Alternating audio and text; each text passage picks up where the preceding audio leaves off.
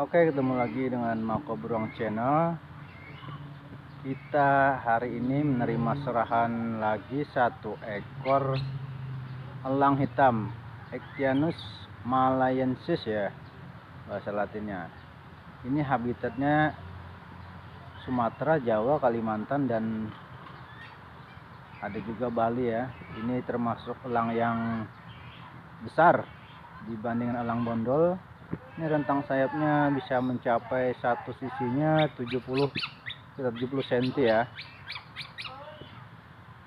Elangnya ini hasil serahan dari Bapak Kombespol Iman Hujian Toro ya tadi ya Esa. Elang ini sudah lama dipiara oleh beliau karena kasihan juga beliau diserahkan ke kita. Dan kita akan rawat elang hitam ini sampai dia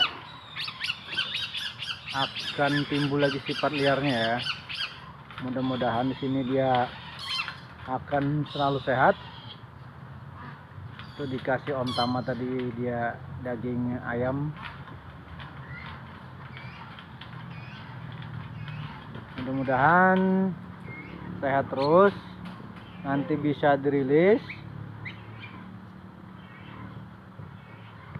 Sementara kita taruh di sini dulu karena dia agak jinak juga. Ini ya. Elang yang cukup besar ini.